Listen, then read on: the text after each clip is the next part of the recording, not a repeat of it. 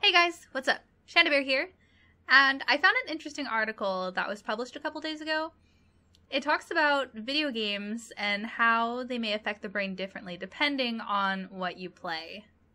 This article talks about the link between first person shooters and brain damage, but this info came from an article titled First Person Shooters Cause Brain Damage According to a New Study.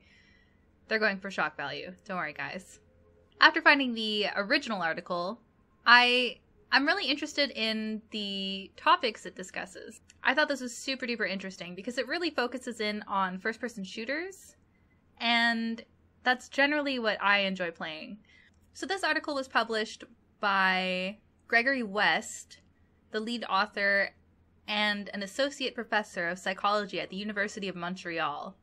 So, this article was published on Tuesday in Molecular Psychiatry, and it states that people who play action video games that involve first person shooters such as Call of Duty or Medal of Honor experience shrinkage in the brain region called the hippocampus. So, this is the part of the brain that has to do with our spatial navigation, stress regulation, and memory. But it says that playing platformers like Super Mario have the opposite effect that part of the brain actually begins to grow and strengthen. So, out of the participants, they had 33 that reported they play an average of 19 hours of action video games in each week. The 33 had less gray matter in the hippocampus than non video game players. The researchers then asked 43 other people who don't normally play video games to spend 90 hours over about 10 weeks playing either action games or Super Mario games in a controlled setting. Now, the ones who played the action games lost gray matter in the hippocampus. Those who played platformers gained gray matter. There's a quote here While we train up one system, the other system is potentially being neglected and potentially showing signs of atrophy. Professor of neuroplasticity in Germany says people who play action video games shouldn't be too concerned. This article isn't looking to call an end to first person shooters it just was a very interesting study and interesting results were found.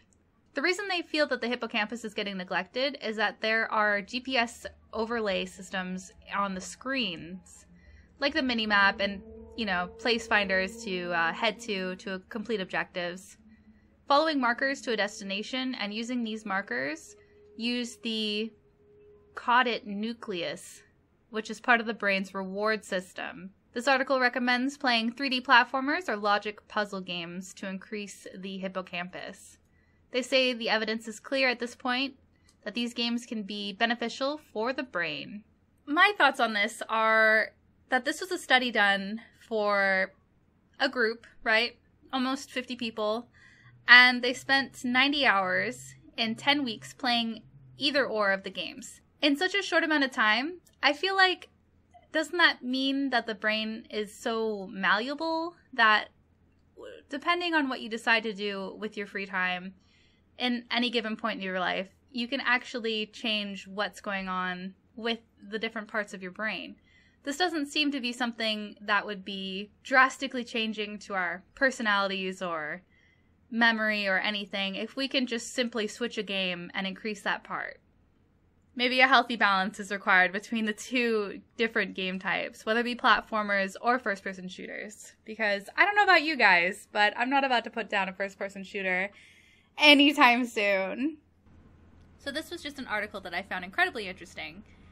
Let me know in the comments if you guys ever find one that you think I should take a look at.